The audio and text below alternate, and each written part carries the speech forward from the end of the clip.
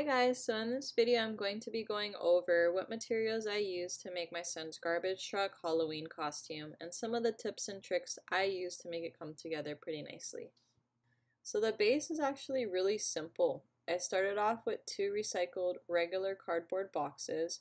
One was from his car seat and the other one was from a pack of diapers. I bought some yellow paint from the hardware store and my mom actually was the one who painted it yellow for me.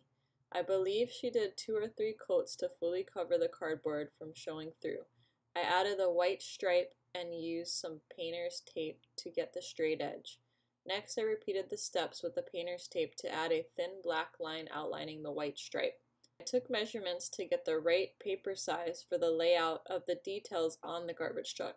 For this I went with 12 by 18 cardstock paper. I looked online to find high quality pictures of the windshield, grille, and headlights.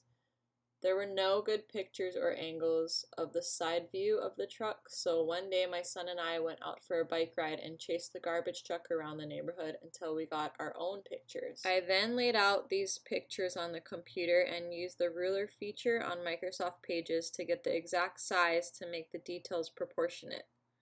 I made sure to take note of the features on the garbage truck like the license plate, city and county logo, reflectors, and so on.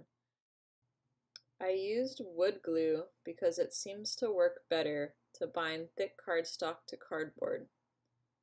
I've used Elmer's glue in the past, but it doesn't seem to stick as long, so I wouldn't recommend it for something that you will be using more than one time. I kept the garbage truck a surprise from my son and hyped him up about it the day before I revealed it to him. He's pretty obsessed with trucks right now, and it was between building him a garbage truck or a bus costume. I was really happy that he noticed the small details, and it made me feel like all that hard work and efforts were worth it in the end. All in all, I would say it took about 5 to 10 hours of work to build up the garbage truck. As for the uniform, it came together pretty quickly. I just put him in some jeans, an orange long sleeve t shirt, and a reflective vest. What really made it come together were the finishing accessories like the safety glasses, earplugs, and of course the bling bling gold chain that a lot of the construction workers or truck drivers here in Hawaii like to wear.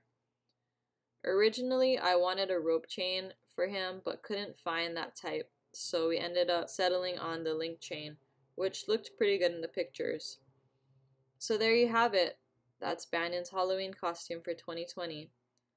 I really love Halloween and I'm super happy I'm able to do this, and I hope he can look back on these memories one day with a smile on his face. Keep watching if you want to see his reaction to his costume. Hey Bannion, you ready to go see your garbage truck? you ready to go see it?